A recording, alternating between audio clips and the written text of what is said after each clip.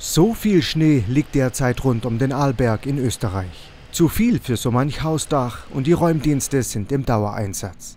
Ja, jetzt kurz vor Beginn der Wintersportsaison hat es so richtig geschneit. Teilweise liegen bis zu einem Meter Schnee. Hier drunter versteckt sich ein Auto. Ja, viel Spaß beim Ausgraben. Das ist schon richtig heftig. Aber die Wintersportler, die freuen sich riesig. Hier oben beginnt die Wintersportsaison bereits am 1. Dezember. Erste Trainingseinheiten freuen sich schon jetzt über die weiße Pracht. Für Autofahrer dagegen ist es weniger erfreulich. Fahrzeuge kamen bei spiegelglatter Fahrbahn ins Rutschen. Hier zum Glück nur Blechschaden. Mit schwerem Gerät werden die Schneemassen von den Straßen und Gassen geräumt. Oberhalb der Waldgrenze herrscht dagegen eine angespannte Lawinensituation. Die zweithöchste Warnstufe 4 wurde bereits erreicht. Viele Hänge werden am Vormittag vorsorglich freigesprengt.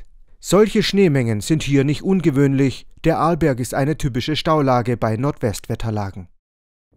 Tief winterlich zeigt sich die Landschaft nicht nur hier. Auch in vielen deutschen Mittelgebirgen und am Alpenrand hat es für einen Wintereinbruch gereicht. So auch hier rund um Oberammergau im Süden Bayerns.